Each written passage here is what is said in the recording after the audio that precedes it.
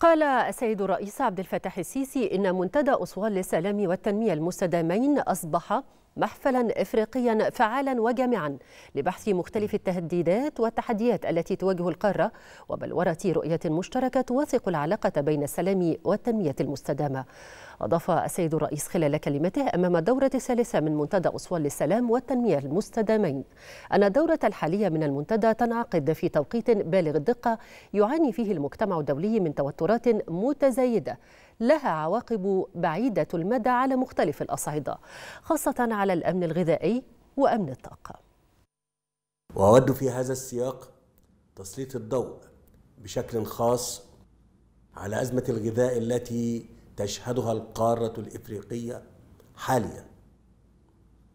لما قد تحدثه من تداعيات خطيرة على سلامة واستقرار مجتمعاتنا.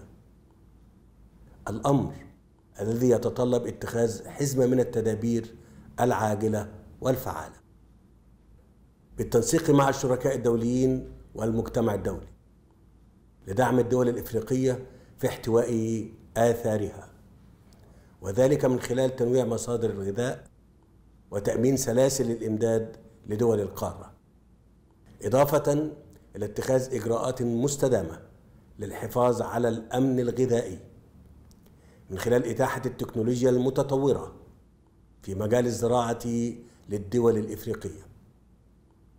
فضلا عن تكثيف جهودنا من أجل زيادة إنتاجنا من المحاصيل الزراعية سعيا للوصول إلى مرحلة الاكتفاء الذاتي. وإن التركيز على زيادة القدرة على الصمود في مجال الغذاء والأمن الغذائي هذا العام إنما يعكس مدى الاهتمام الذي تليه دولنا لتحديات الأمن الغذائي. ويضعنا أمام مسؤولية توفير الغذاء لسكان قارتنا الإفريقية.